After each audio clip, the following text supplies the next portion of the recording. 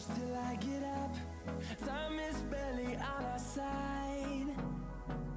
I don't wanna waste what's left. The storms we chase are leading us, and love is all we'll ever trust. Yeah, no, I don't wanna waste what's left.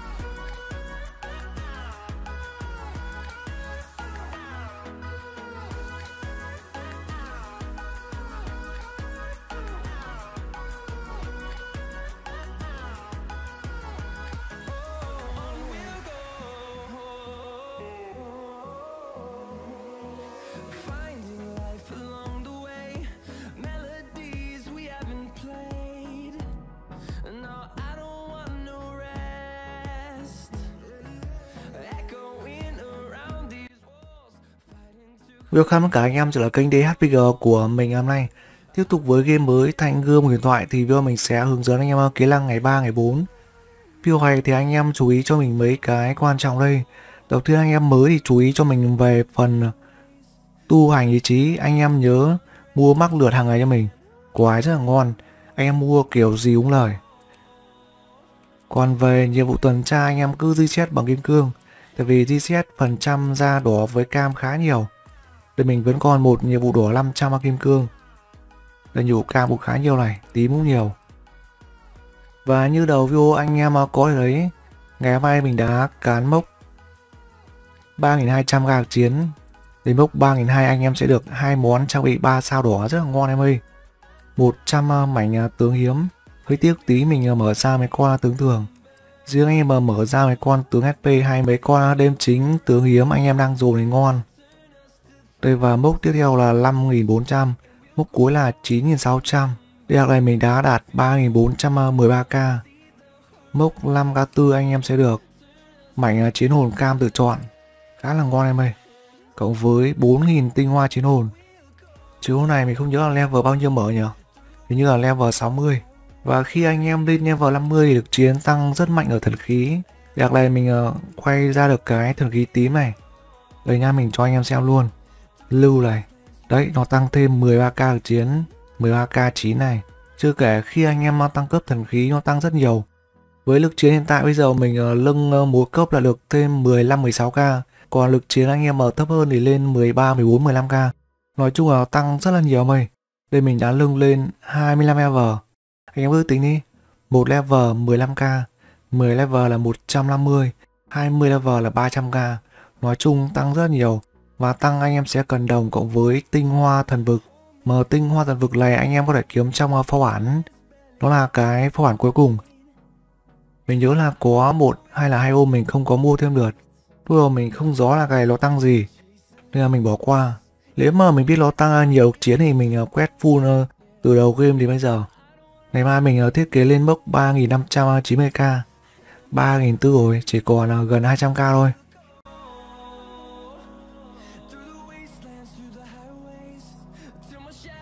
Còn về phó ăn mảnh này ấy, khi anh em lên ờ, mốc khó 1 mình không nhớ là lực chiến bao nhiêu. Mốc khó 2 lực chiến 3 triệu 660k từ 3660k đây khó 1 anh em sẽ được 50 mảnh tím cộng với một bánh cam. Nhưng mà ngày mai cha mình ờ, vấn quét cái mốc thường 2 nó được 50 mảnh lam. Nếu mà quét ờ, mảnh cam này anh em quét 50 lần là được một con tướng. Còn anh em mà quét bên dưới này được 50 con lam thì nó tương đương với 500 điểm. Nó bằng 1 phần 12 tướng SP. Game này ở trong phần uh, tiệm tách tướng anh em sẽ được đổi tướng SP. Đây tiệm tách này 6.000 một con. Một con lam tương đương với 10 điểm. Mà game này kiểu gì về sau anh em cũng chơi gần full hết tướng SP thôi. Tại vì tướng SP ấy, về chỉ số kỹ năng nó đều ngon hơn tướng thường.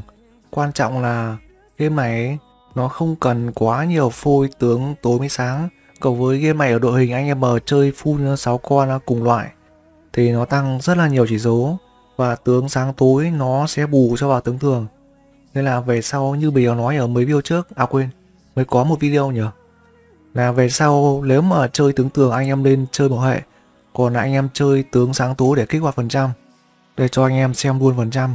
Và tiệm tướng này anh em đừng có đổi tướng tường, chỉ đổi tướng sáng mới tối thôi. Kể cả tướng anh em không chơi thì anh em làm phôi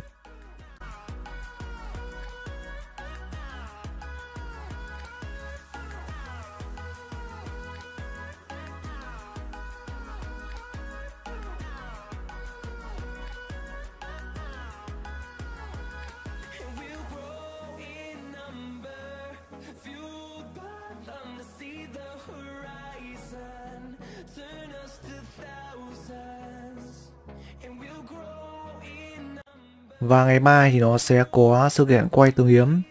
Đây trụ mạnh nhất. Đợt đầu là con uh, Gio. Thế anh em uh, bảo là về sau nó sẽ có một loại khác. Mà bảo hiểm nó chỉ có 80 vé thôi. Mà kim cương quay vẫn vậy.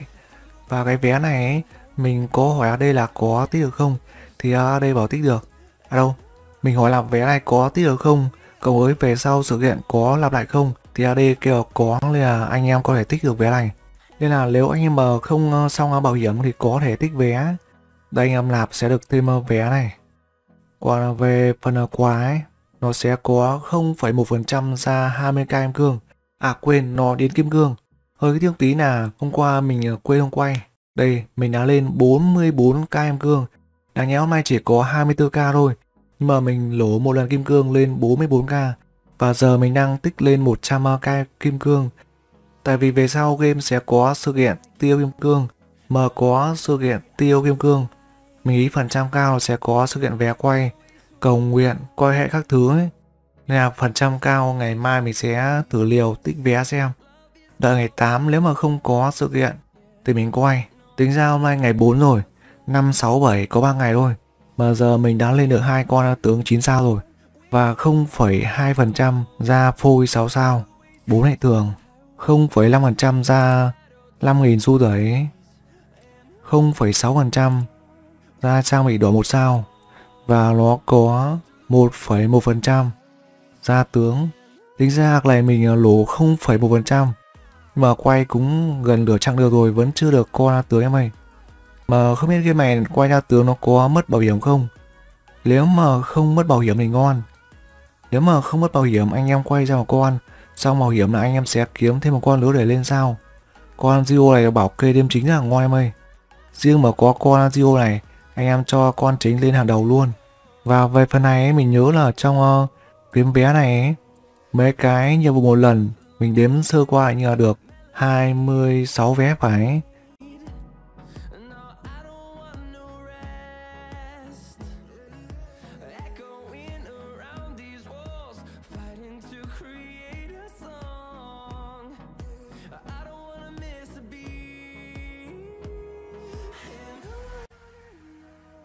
Trong khiêu chiến anh hùng, mỗi ngày anh em sẽ được thêm một vé ải cuối nữa. Là 7 vé mà không biết là có đủ 7 ải không. Cứ cho là 7 ải đi. Một ngày được quay free một lần. Quả đăng nhập anh em được thêm 20 vé nữa.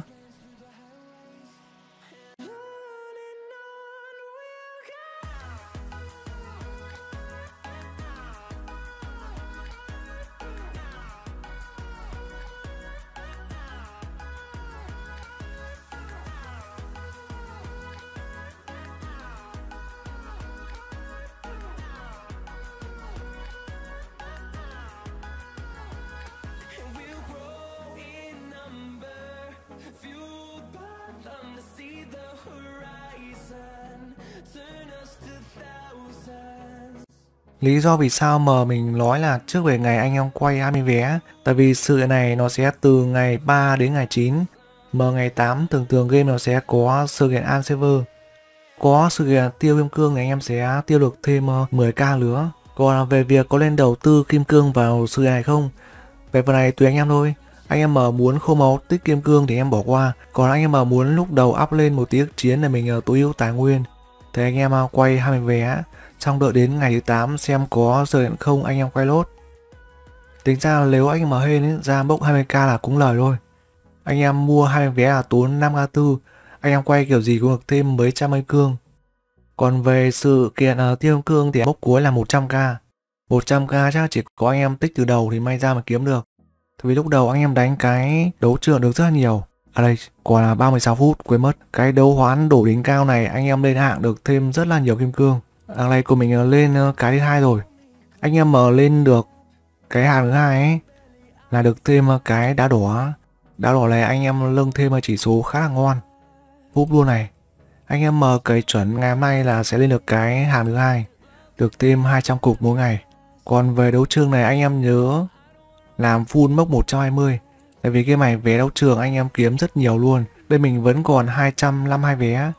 Đây mình đã đánh 92 trên 120. Tựa đánh thêm ờ, 30 vé nữa. Tựa vẫn còn ờ, hơn 220 vé. Và vé đấu trường này anh em đừng có đánh hoang phí. Đánh đủ 120 thôi. Nếu mà muốn hạng cao ấy thì anh em đợi đến cuối ngày anh em đánh. Và game này đấu trường 10 giờ nó sẽ tổng kết. Mình ờ, chắc là đợi đến tầm 9 giờ 57 rồi mình đánh full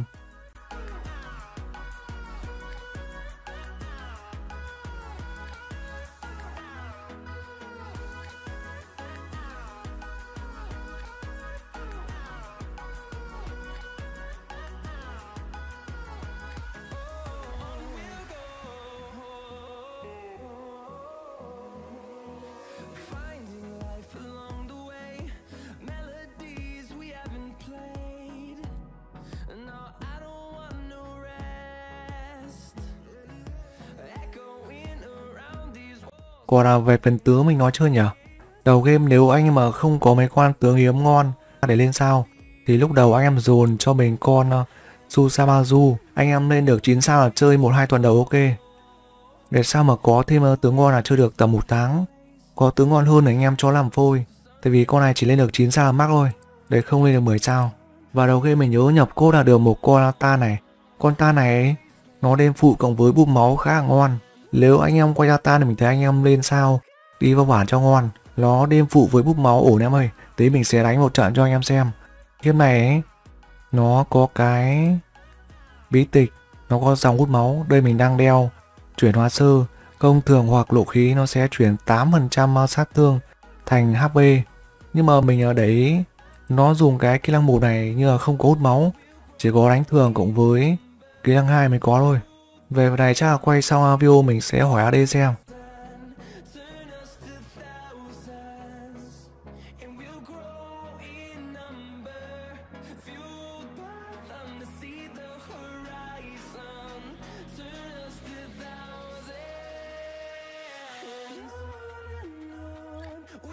Còn về tiệm mình như video ngày qua mình có nói, thì anh em chỉ cần là mua cho mình xu ước miễn phí này. Vé rút cao 30 im cương đã đột phá 80 kim cương. Lúc đầu anh mà muốn up thêm uh, tí lực chiến có thể mua thêm uh, 250 KX. Từ ngày mai chắc mình sẽ bỏ 250 KX. Còn về 500k đồng mình tới anh em có mua, chỉ cần mua 1-2 ngày đầu thôi. Ngày hôm nay mình uh, tiêu hết đồng rồi.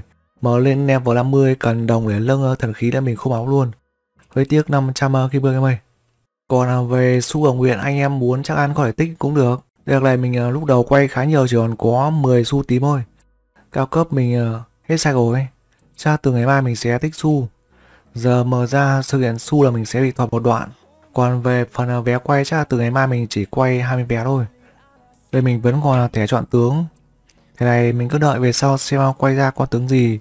Chơi con gì rồi mình mới lên. Phần trăm k mình sẽ chọn con Atengen tại vì cái này mình thấy khá nhiều tính năng cần đánh bốt nên là lúc đầu mình sẽ ưu tiên mấy con đêm đơn hơn. Mặc dù đêm đơn anh em đi PK hay đi map sẽ tù hơn, nhưng mà đánh bốt cực phẩm.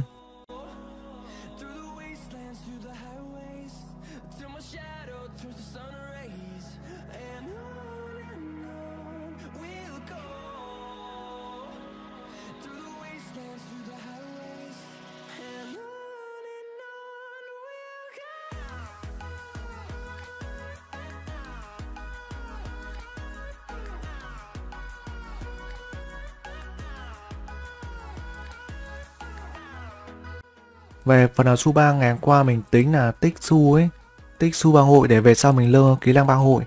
Nhưng mà hỏi AD, AD bảo vẫn chưa có thông tin Nên là mình không máu mua luôn trang bị đỏ mây Đây trong uh, tiệm bang hội Nó sẽ bán uh, một món trang bị đỏ Giá 20k Đây mình đã mua cái lón này.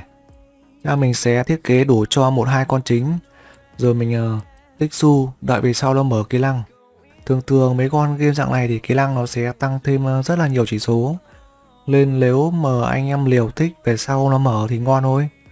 Đâu xem còn gì không nhỉ? Tính ra game này nó chỉ có vài tiếng đấy thôi. Về ngự thần tụ lại anh em mở ra từ mới cộng với lên sao mấy con ờ, mới thì anh em ờ, được thêm điểm, tăng thêm khá nhiều chỉ số. Trong này nó còn có thêm ở tốc nữa em ơi. Đấy rồi anh em chú ý cho mình mấy cái của bạn ấy. Cuối video mà còn thiếu gì mình sẽ thêm bằng hình ảnh sau. Ok.